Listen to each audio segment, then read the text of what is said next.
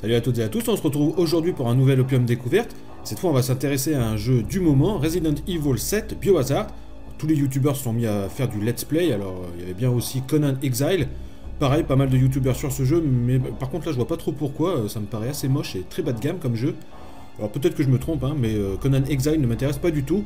Donc aujourd'hui c'est Resident Evil 7, et je crois même que c'est la première fois que je fais un jeu triple A juste après sa sortie. Faut dire, il n'a fallu que 5 jours pour euh, craquer le jeu, malgré un système de sécurité mis en place par Capcom. Alors, est-ce le renouveau de la licence après un Resident Evil 6 euh, qui avait pas mal déçu les fans de la série, trop basé sur l'action, disaient certains Capcom a de toute évidence voulu rénover, faire différemment. Voyons voir si le pari est réussi.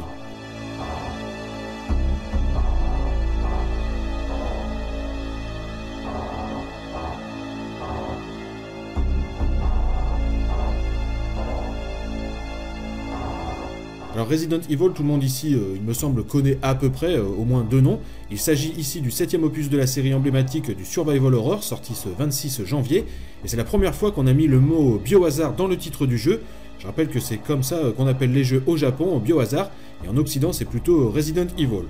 Alors je tiens à préciser qu'il s'agit d'un test après y avoir joué deux bonnes heures, autrement dit la première partie, pas entièrement, qui apparemment est bien différente de la suite du jeu, ok, j'y ai joué que deux heures, mais c'est pas pire que de voir des tests par des journalistes pros après avoir testé le jeu euh, sur un salon.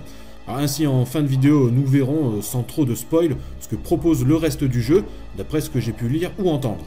Le jeu est donc sorti euh, ce 26 janvier, une version avait déjà été disponible suite à l'E3 de l'an dernier, une démo téléchargée plus de 7 millions de fois, donc beaucoup attendaient le nouveau Resident Evil, qui est par ailleurs disponible en mode réalité virtuelle, vous savez, la VR, ce flop euh, économico-comico-vidéoludique, qui se déroule en ce moment. Euh, je ne sais pas trop si ça marche la VR, aucune idée. Les constructeurs ne parlent pas trop de chiffres en ce moment, euh, c'est que ça doit pas trop marcher. Bon, je déconne un peu, mais pas trop quand même. Hein. Alors la première partie du jeu Resident Evil 7 Biohazard, donc nous allons incarner un certain Ethan Winters qui se rend en Louisiane après avoir reçu un message très très inquiétant de sa femme Mia, qui a disparu depuis quand même 3 ans. Alors nous ne savons absolument rien sur ce héros, il n'a l'air ni militaire, ni super-héros, bref, un type lambda. C'est justement ce qu'a voulu Capcom, revenir aux fondamentaux du survival horror, avec un héros entre guillemets, disons assez faible, pas vraiment expert en zombies ou trucs morbides. Nous arrivons donc devant la grille d'une maison, un manoir en pleine campagne, le terrain de jeu de cette première partie, et on sent euh, tout de suite l'ambiance très oppressante des lieux. La Louisiane, avec ses marécages, ses zones forestières mystérieuses, est un endroit qui colle parfaitement dans l'imaginaire collectif euh, du coin paumé, triste, et qui commence déjà à faire peur. En plus, euh, dans le jardin, dès le début, on voit un mec passer au loin, et après on le voit plus, et pareil, dans la première partie, à un moment, on vient de buter une femme, alors je ne dis pas qui, hein, pour euh, pas spoiler, un grand coup de hache dans la gueule, et une minute après, ben, on la voit passer devant la porte, à 10 mètres de nous. C'est un détail, mais qui offre sa petite dose de stress. Donc euh, pour cette première partie, euh, disons introductif au jeu, comptez deux ou trois grosses heures de jeu, Capcom a voulu couper avec le Resident Evil 6 on est ici dans du vrai survival horror, héros lambda, peu d'armes ou de munitions, quelques énigmes mettant notre réflexion et notre logique à rude épreuve, et surtout une ambiance lourde, crispante. On retrouve cette atmosphère des films d'horreur des années 80, de Evil Dead à Massacre à la tronçonneuse, donc là pour le coup c'est vraiment excellent.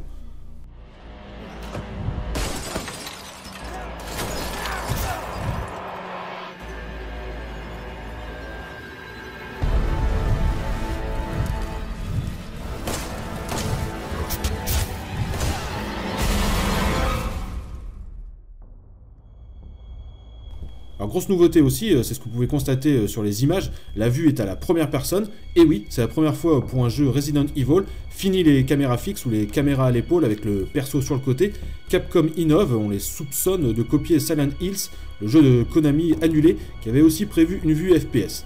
Capcom a d'ailleurs conçu un nouveau moteur de jeu, le RE Engine, RE pour Resident Evil, a mon avis, pour rentabiliser le truc, hein, il va sûrement falloir s'attendre à des suites utilisant ce moteur de jeu en vue à la première personne. Bref, certains fans de la série Resident Evil s'offusqueront de cette vue FPS. Il faut bien reconnaître que niveau immersion, ça change tout. On est vraiment dans une cave à marcher à tâtons avec notre petite lampe torche de merde, où chaque ouverture de porte nous fait flipper, à savoir ce qu'on va trouver derrière. On se retourne sans cesse pour savoir ce qui se passe, car on entend des bruits bizarres. C'est franchement bien fait, plus 1 pour Capcom. Alors après avoir retrouvé Mia, euh, notre chère et tendre, devenue euh, comme possédée, on se retrouve ensuite à la table des Baker, les propriétaires de la maison, la caricature euh, du bouseux moyen de Louisiane. Sauf que là, ils sont complètement psychopathes, les parents, le fils, la grand-mère, ils veulent nous faire bouffer des tripes, bref, les Bakers sont les ennemis principaux du jeu, et la partie de cache-cache va pouvoir commencer, car oui, étant faiblement équipé, c'est souvent ce qui va arriver, on va jouer à cache-cache, car les affronter de face est souvent synonyme de mort, surtout avec le père hein, qui jaillit sans cesse de nulle part, euh, juste là pour nous faire hurler. Mais bon, à force, ça devient tellement téléphoné. Euh, alors oui, pour les plus jeunes, téléphoner, c'est une expression des années 80 qui signifie que le jeu essaie de nous faire bondir. Alors ok, ça va marcher une fois, peut-être deux, mais après ça va être tellement prévisible, on vient de buter notre femme, et bim, elle rejaillit de derrière la porte, on essaie de fuir euh, Jack Baker, et bim, le mec défonce un mur et on se retrouve devant lui un coup de couteau, on le défonce à la voiture bélier, on le brûle, le mec veut pas mourir, et rejaillit euh, plusieurs fois euh, pour nous faire peur. Alors une mise en scène euh, donc très cinématographique des années 80, mais certaines scènes, on s'y attend trop des fois et c'est un peu dommage. Alors ce que j'apprécie aussi, c'est que parfois Ezan trouve des cassettes VHS, alors pareil, hein, pour les plus jeunes, sont des objets que l'on mettait dans des magnétoscopes pour regarder une vidéo ou un film. C'est un indice pour les plus jeunes qui essaieront le jeu et est-ce qu'ils auront le réflexe de mettre la VHS dans le magnétoscope? C'est pas sûr, j'espère euh, quand même. Et donc euh, l'an premier, on tombe sur une vidéo qui montre une équipe de trois personnes venues dans la maison des Baker euh, faire un genre de reportage. Et en fait, on peut jouer cette vidéo, on incarne ici le caméraman. Alors je vais pas vous dire ce qu'il arrive hein, pour pas spoiler. La deuxième VHS que l'on trouve cette fois, c'est Mia qui a fait une vidéo pour Ezan. Et on peut jouer Mia qui essaie de fuir la grand-mère. Alors je trouve l'idée euh, plutôt bonne de pouvoir jouer ces parties vidéo. Ça aurait pu être une cinématique à la con sans gameplay, mais non, là on va jouer vraiment la vidéo. C'est assez bizarre, mais ça marche bien. D'ailleurs, le jeu propose peu de cinématiques en fin de compte, même si on remarquera que le jeu est assez linéaire. On va là où le jeu veut nous emmener, c'est pas de l'open world, ce qui signifie euh, quelques parties euh, scriptées, déclenchement de mini cinématiques de quelques secondes, avant de reprendre les commandes du personnage jouable. Encore une fois, l'immersion est là et ça fonctionne plutôt bien. Le manoir, les caves, les couloirs, c'est un vrai labyrinthe, hein, des portes un peu partout avec son petit moment de flippance à chaque ouverture. Il y a quelques casse-têtes, un système de clés assez important, c'est-à-dire qu'il faut rechercher une clé avant de pouvoir euh, s'enfuir par un endroit précis euh, qui nécessite forcément une clé. Quelques énigmes, parfois logiques, euh, parfois pas trop, comme par exemple une statuette de taureau sur une étagère du garage assez planquée et qui permet d'ouvrir la porte blindée du hall principal. C'est un peu tiré par les cheveux comme casse-tête, mais bon, ça passe. Pour les soins, il y a un peu de crafting, hein, léger, avec euh, son inventaire pas toujours très ergonomique, une combinaison de touches euh, pour pouvoir se retourner rapidement et fuir. Mais le personnage est assez lent, donc on se prend quand même un coup de pelle dans le dos. On soigne nous-mêmes, on recoue notre main, on rabiboche notre jambe avec de la ficelle et de l'eau. Euh, c'est assez bizarre, mais bon, disons que ça passe.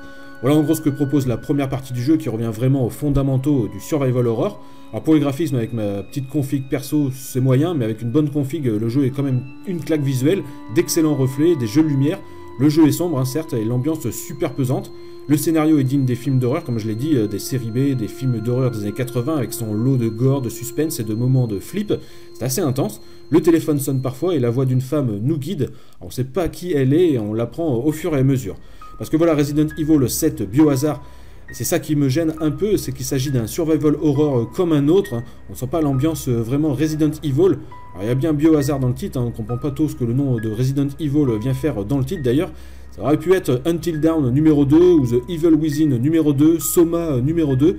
Aucune référence à la série Resident Evil ou à Umbrella Corporation. Alors ce que je veux dire, c'est que, ok, c'est beau, c'est plutôt bien mis en scène, la qualité des graphismes, des textures, l'ambiance, tout ça, c'est bien là, mais sur Steam, par exemple, il y a tellement de jeux survival horror qui sortent que Capcom euh, nous sert une soupe et vendent leurs jeux quand même à 55 euros, alors qu'on peut avoir pour cette même somme une dizaine de survival horror euh, de studios indépendants à 5 euros chacun. Capcom utilise vraiment le nom de Resident Evil pour vendre, et ça, bah, c'est dommage car euh, certains survival horror à 5 euros, à durée de vie courte certes pour certains, valent aussi le coup. Et pour un jeu Resident Evil 7, on aurait 8, 9, voire 10 survival horror sur Steam. Parce que aussi niveau durée de vie, Resident Evil 7 ne propose qu'environ 10 heures de jeu, allez 12 si tu prends bien ton temps, car euh, qui dit fondamentaux dit exploration, recherche, on observe tous les objets, on les fait tourner, il y a des photos, des coupures de presse, des trucs inutiles. Bon voilà, c'est sympa, mais euh, ça reste quand même assez limité en niveau durée de vie. Et donc, euh, partie un peu spoil maintenant, euh, veuillez quitter cette vidéo si vous ne voulez pas trop en savoir, même si je ne vais pas révéler grand chose, hein. j'ai pu lire ou entendre que le jeu se décompose en 3 voire 4 parties, et qui sont assez inégales les unes par rapport aux autres. Alors après la première phase très immersive et flippante, hein, faut bien le reconnaître, digne d'un excellent survival horror, il semble que l'action revienne au galop, on se retrouve moins en position de faiblesse face aux ennemis, Et les ennemis, parlons-en justement, le bestiaire est assez faible, un peu d'ennemis, coriaces, la famille Baker, euh, déjà, qui va nous occuper euh, la quasi-totalité du jeu. Alors, ils sont psychopathes, un morbide, euh, dégénérés. On se les farcit un par un avec son lot de bonne mise en scène et un boss final, quand même, qui est assez ridicule, d'après ce que j'ai compris. Bref, c'est assez léger niveau bestiaire et ennemi. Vous attendez pas à des vagues de zombies, le jeu mise plus sur l'atmosphère lourde, des ressorts plutôt déjà vus, on pourrait dire. Et ça, c'est un peu dommage. En fait, on apprend que la famille Baker est possédée, ce qui les rend complètement dingues et sanguinaires. Notre but, avec l'aide de Zoé, la fille euh, du téléphone, dont on apprend assez vite qu'elle est la fille Baker, on devra retrouver des ingrédients afin de fabriquer un sérum pour sauver euh, toute la petite famille de bouseux de Louisiane. Mais bon, tout ne va pas forcément se passer comme prévu, et évidemment, sinon euh, c'est pas drôle, et je m'arrête là quand même pour le spoil. Alors je disais qu'on avait peu de rapport avec la série Resident Evil des épisodes précédents d'Umbrella Corporation.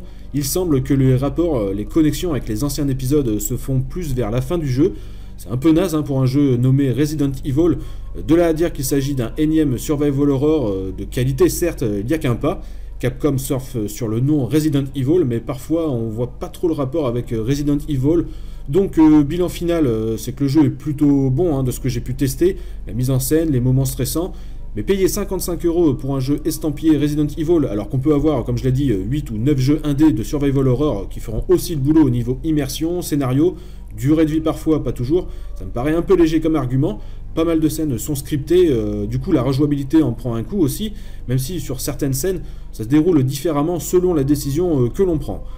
Si ce n'était pas Capcom, euh, si ce n'était pas Resident Evil, si ce n'était pas vendu à 55 euros, alors il y aurait vraiment un problème euh, très grave, et ce ne serait finalement qu'un survival horror de plus sur le marché. Alors c'est un avis perso, hein, n'hésitez pas à partager votre avis euh, sur le jeu en commentaire si vous avez essayé, sur ce qu'il vous a inspiré et dire pourquoi pas si vous appréciez le jeu, si Capcom a bel et bien réussi son pari de renouveler la licence avec un gameplay qui change quand même pas mal de la série en général. Merci d'avoir suivi cette euh, vidéo, cette opium découverte consacrée à Resident Evil 7 Biohazard. On se retrouve bientôt pour une prochaine vidéo sur ma chaîne. A bientôt, ciao